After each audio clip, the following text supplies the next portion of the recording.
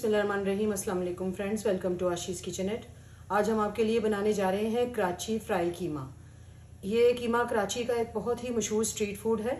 मैंने पहले आपको लखनवी कीमा भी बताया था, लेकिन उसमें मसाले हमने खुद घर में बनाए थे। तो बहुत सारे लोगों ने हमें कहा कि वो मसाला इस तरह से बनाना थोड़ा मुश्किल है तो कोई इंस्टेंट तरीका बता दें। तो आज मैं आपको एक रेडीमेड मसाले से ये आसानी से बनने वाला ये टेस्टी कीमा बता रही हूँ। इसके लिए डेढ़ किलो कीमा लिया है। इस पर मैंने दो टेबलस्पून पपीता, कच्चे पपीते का पेस्ट लगाकर रख दिया है। ये तिक्का मसाला है, एक पैकेट इसका लिया है, मक्खन लिया है, ये 150 ग्राम्स है, प्याज है, ऑयल में ब्राउन करके निकाल लिए हैं, अदरक लहसन है, ये भुने चने का पाउडर है, चार से पाँच टेबल स्पून और ये दही है एक कप। पैन में ये तेल डालकर प्याज दो प्याज ब्राउन किए हैं। अब इसमें मैं ये पपीते लगा, कीमा डाल दूँगी।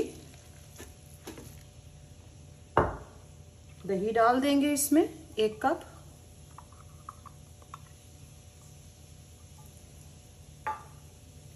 ये चने का पाउडर है, ये डाल देंगे चार टेबल स्पून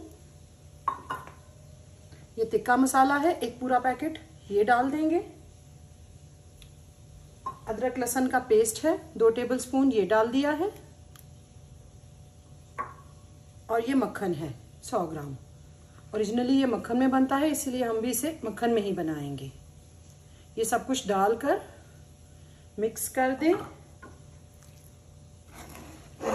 और फिर इसे हम आधे घंटे के लिए मैरिनेट होने के लिए सब कुछ रख देंगे।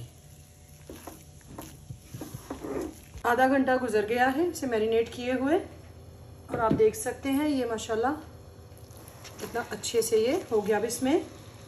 एक कप पानी डाल रही हूँ मैं। मिक्स करेंगे और इसे हम पकाना शुरू होंगे। अच्छी तरह मिक्स कर दें और फिर इसे हमें कवर करके इतनी देर पकाना है कि कीमा अच्छे से गल जाए और घी भी ऊपर आ जाए, जो हमने मक्खन डाला है, और इसका अच्छा सा फ्लेवर बन जाए।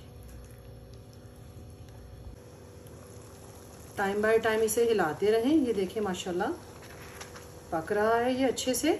साथ ही साइड पर एक कोला कोयला दहकाने के लिए हम रख देंगे, क्योंकि हमें एंड में इसे स्मोक भी देना है। चने डाले हैं, इसलिए इसके नीचे लगने का डर रहेगा, इसीलिए वक्फे वक्फे से इसे आप प्लीज़ हिलाते रहिएगा।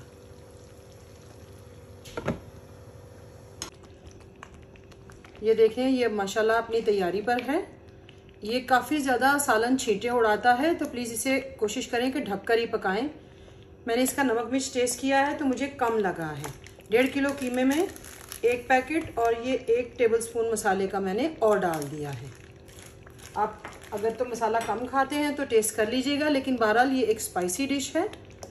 तो इसमें मसाला थोड़ा तेज़ होगा तो ही अच्छा लगेगा। मसाला मिक्स करेंगे और अब हम इसे धुआँ लगा देंगे। चूल्हा नीचे जलता ही रहने दें, बिल्कुल हल्की आँच पर।